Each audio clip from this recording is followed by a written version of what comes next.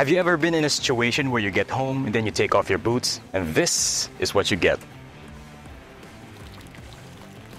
Sweaty and stinky socks. Nah.